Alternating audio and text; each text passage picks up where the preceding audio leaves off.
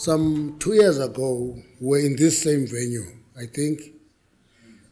I made a point that said then there was nothing talking about expropriation without comments. I said to, to, to, to the audience, if rational people in South Africa don't take the discussion on land forward and come up with ideas that make land redistribution a reality, the extreme peripheries are going to take over the debate, and this debate is going to be characterized by anarchy.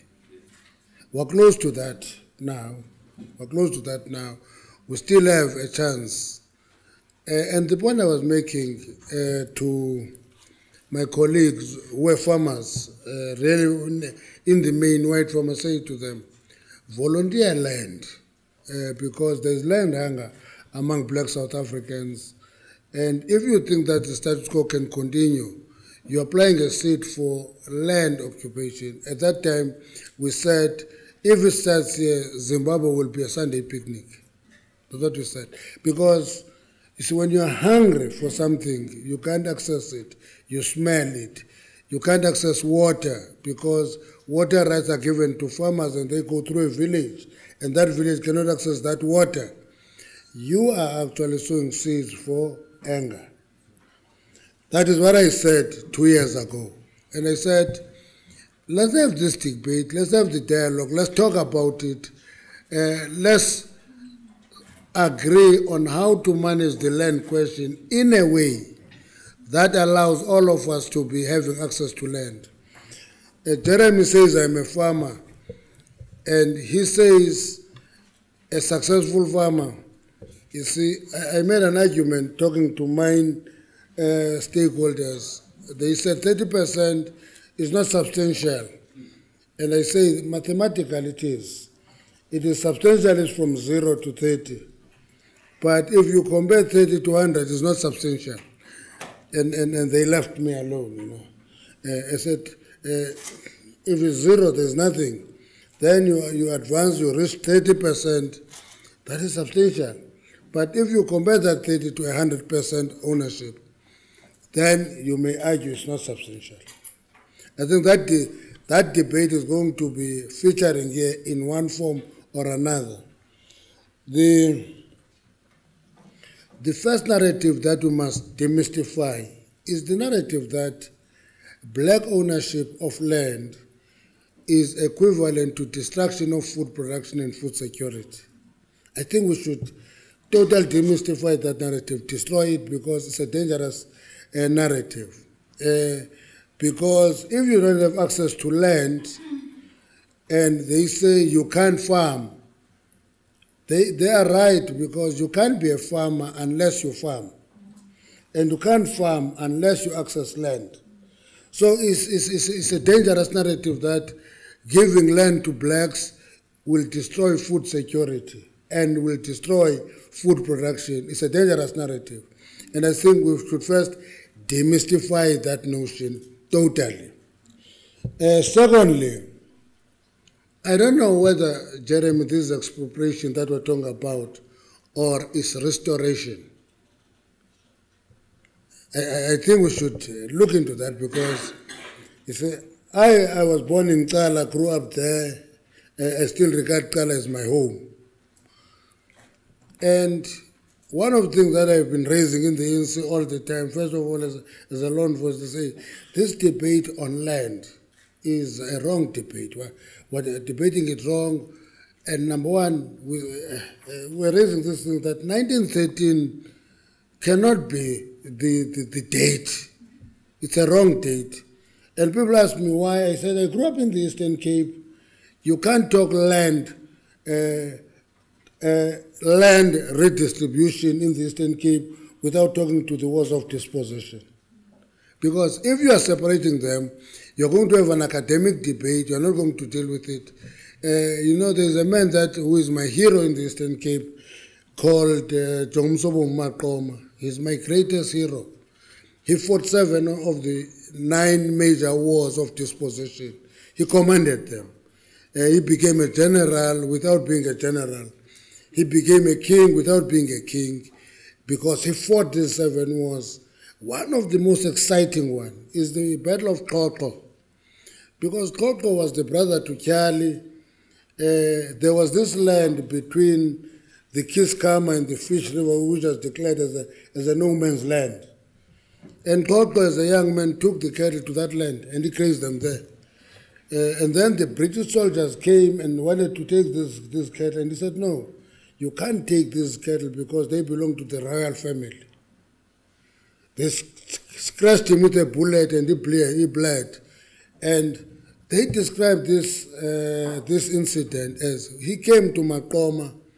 They don't say bleeding. It's, it's very graphic because they say, Wafika eli jaja likas. You see, yabona was that language is the language of war. Ufike eli jaja likas. Meaning that he was bleeding profusely. And then, then Maqoma said, there can be no peace when the children of Ngqika are bleeding like this. That battle started, the Battle of Xhoxho. So I'm raising that issue because you can't be a historic in dealing with the land question. That is the, the first thing. You, you can't be a historic. You must be historic. You must link it to the wars of dispossession. You must be able to trace the movement of the boundaries from the Great Brak to the Great Fish, Fish, Kiskama, Keiskamma, Kyume, Kyume, uh, uh, Kei. Because those were results of wars, and every time they were moved, that's why we talk of land, we're not talking of animals. But history tells us that after every war, once they were, defeated, were defeated, there was also a charge of X hundreds and thousands of cattle that were taken uh, as a punishment. You are defeated, you are pushed, go to the east of the Kyume River, therefore you must pay 14,000 cattle.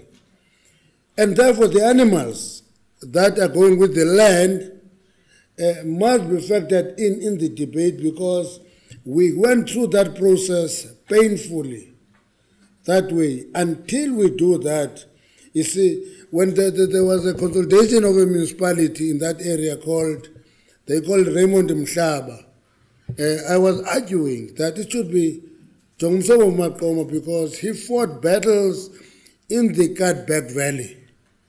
So that whole Katbek Valley should have been called Jongumsobo Maqoma because that Katbek Valley is very rich, but our people were pushed out of it because precisely it was rich. Now, if we don't touch those wounds, we're not going to be able to settle the land question. That's my argument.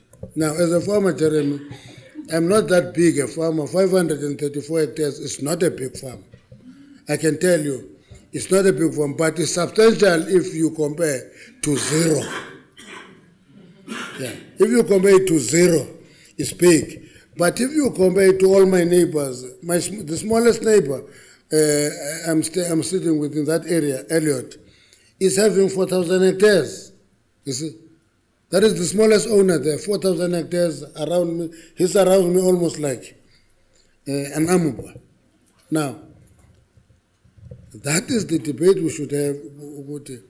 Therefore, the debate that is, was introduced in the conference, adopted by the conference, of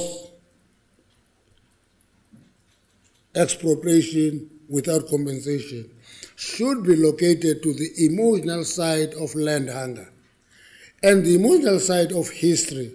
It should be actually be debated whether it is real expropriation or restoration. Now, I'm raising that. It's not in the resolution. I'm raising it because when you restore, you are not expropriating, you are restoring both dignity and ownership of land. And that is the debate we should be having because you see, Ungukaitobi uh, is from a, a small dorp called Cala, you see. But when it is me, we call it a city. When it is him, it is a small dorp. He knows in the mountains uh, between Fonondil and Lower Cala, there is a place called Ifam Yakwamantashepa. There's a farm there.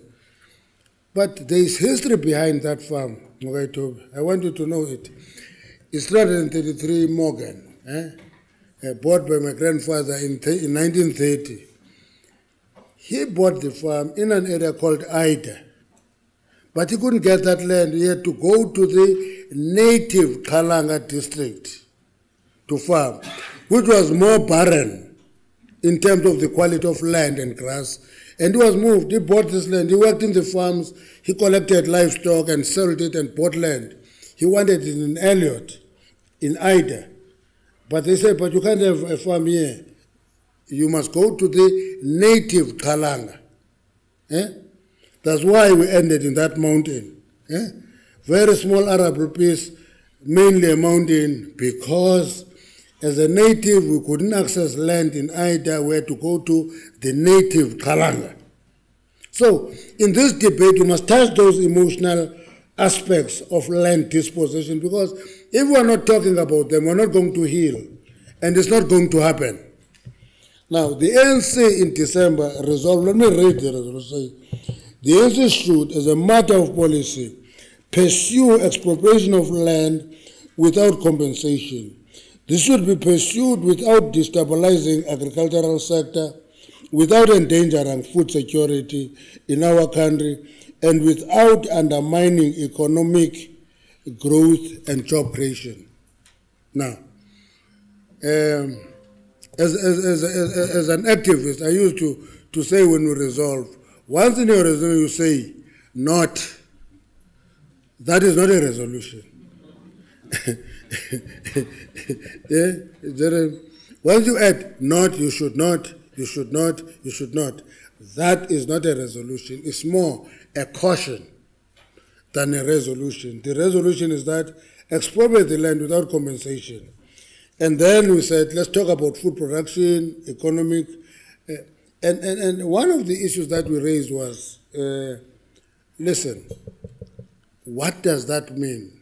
It's important that you don't destroy food production. We looked we work very close with ZANU PF.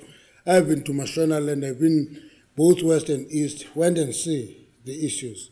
And I can tell you that in the long term, th- that program will benefit. But in the short term, it destroyed food production precisely because they dived into it. You get my point?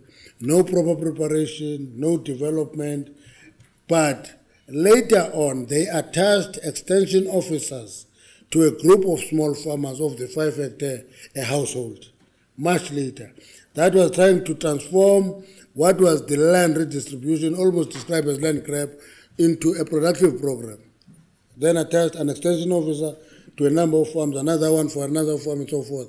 And that tended. That's why last year they said we have the first uh, good harvest for the first time since the land uh, revolution. They said so because they intervene much later. We have an opportunity to intervene up as we roll it out.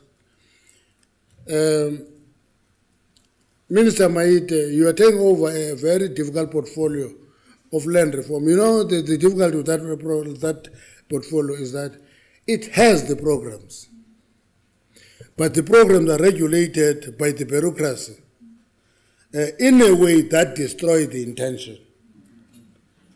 Now, let me explain this. You see, now I, I'm now not theorizing, I'm talking practical. You go there and you say, you, we are applying for recapitalization. Eh? Recapitalization. Very good program. It is supposed to support farmers, new entrants to the industry, give them implements and so forth. And I gave up on recap on year five. On the fifth year, I couldn't get it. I gave up. I, I started dis- discovering that no, recap is here. So let me not wait for recap. Uh, I will never get. When they came after five years, they said, now you're having more than uh, uh, 100 cattle and more than 500 sheep. Therefore, you are now a commercial farmer, you can't be recapitalized. You see? now, now, so those programs are there, they're important, we must refine them. The danger with officials, I hope there are many here, is that their behavior is sit on issues, ministers come and go, uh, we're here. and they destroy good programs with good intentions. If we don't address that, we are going to take a radical decisions, they will not happen. Now, and in January, we undertook what we called a revolutionary pilgrimage as the new leadership of the ANC, which is still underway. We go to all the provinces, meet uh, former leaders of the ANC, meet chiefs, meet kings, meet everybody, talk to everybody. Very good program because it gives you access to talk to people. Uh, you know, I normally talk about Maqoma. One of the things that I learned when I went to Limpopo, uh, for the first time I discovered and given a book that the area Vhembe was never colonized because kuthiwa ngusilwabusiku ndodelwa ngobusuku silwabusiku was never defeated when the Afrikaners attacked him he dispersed them into all directions and they disappeared and lost each other. They met in an area called in Limpopo, Soekmekaar, because they were looking for each other and met in Soekmekaar. You see, now, now, those pieces of history are very important for us to understand the land question. Levubu is the richest valley in South Africa. Is it used properly? Is it producing properly? Eh? Now, let me leave that because what excites me in the debate is the historic aspect of it, because that historic aspect is going to help us understand why we feel so strong about accessing land. Eh? Sekhukhune was, was never defeated by the Afghanis, including by General Burgers, who is after whom Burgersfort is named. He never defeated him until he was reinforced by the British from uh, KwaZulu Natal. Only then could they capture Sekhukhune. Now, and therefore subdued him. Now, those pieces of history are important because history gets distorted all the time. And because that history is distorted, we can't have a sense in talking to one another. And my appeal, therefore, is uh, we should talk to one another. We should talk to each other. We should engage. We should listen. We should understand. We should understand the fears of those who sit on the land when we talk of expropriation without compensation.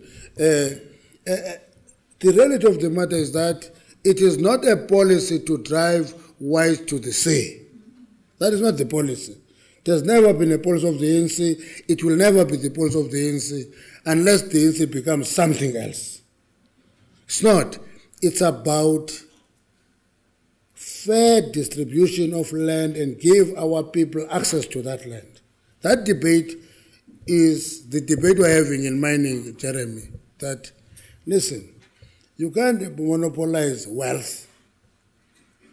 Black people must have access to wealth. Black people must have access to land. There's a man in Ugie who owns 21,000 hectares of land without asking the question whether it is productive or not, it is just unfair for one man to have 21,000 hectares of land when everybody stays around him hungry for land. You see? It's just unfair. Before you, you go to the content, it's just unfair. You know? There's a man in, in Queenstown. Uh, he's a big farmer. He mobs us every farm that comes to the market. He buys it he has bought the entire Ida area. Eh? The entire Ida area is owned by a single man in Queenstown. It can't be fair. When we talk of expropriation without compensation, those are the first candidates for the expropriation. When a person is greedy, when a person becomes greedy and takes every piece of land to himself, that person should be the first candidate for expropriation because he's not needing land, he's greedy. He's greedy. We must deal with greed uh, without being soft on greed. Greed is dangerous, Jeremy. You must appreciate that around you people are hungry for land. They must access that land. You must get land that is sufficient for you to produce, but the other one must be released. That's my argument for today. And number 10, and lastly, you know, the, the, the, the resolution in Parliament, I think we're making too much of it. The reason that we've started this process, you know why we started this process? In the There's a paper of the ANC which is here. It's called a mandate for transformation. That is what we label this debate about. It's a mandate for transformation. And this paper, which this, this process will fit into, is intended to allow a rational discussion and debate on the land question. That's what it is meant. And you can't discuss the land question without uh, being going through a painful process. You must touch the raw nerves. Uh, the intention is not to make anybody feel bad or destroy anybody. The intention is that let's come to the party, let's appreciate the sensitivity of the land question. Uh, I'm sure uh, TP, the, the CEO of uh, Land Bank, will be able to say you how imbalanced is the book of the Land Bank on land. Big chunk of that book is with the white farmers. Small portion is with black farmers. Very small portion. I hope you can share that with us because it is a tool of transformation in land bank if it is used appropriately. If it is used appropriately, you can look into all these tools of transformation, transform the sector, make it a sector of the people. You, you know, Jeremy, I think mining must be part of the discussion on land. Eh? You know why? Sometimes they go and get the mineral underground, and there's a big farm on top on the surface that is not used for anything. That land must be subjected to this debate because that is land that can be used for something else. You can't leave that land barren because there is a mineral underneath. Go underground, take the mineral, but use the surface land for production. And the, the keynote for me, the key word for me is productive use of land. It's not only about farming, it's also about urban productive use of land. It's about all the categories of land. The key word to me is productive use of land. Therefore, people who are given any piece of land, one thing we must ensure is that they are using that land productively. So, uh, the last uh, debate that is raised on this matter is a debate about size of farms and productivity thereof. And the argument that we're moving to a mega farm era. Small farms will not be productive. That is another myth that should be demystified. Intensive farming happens in small pieces of, of land, you know.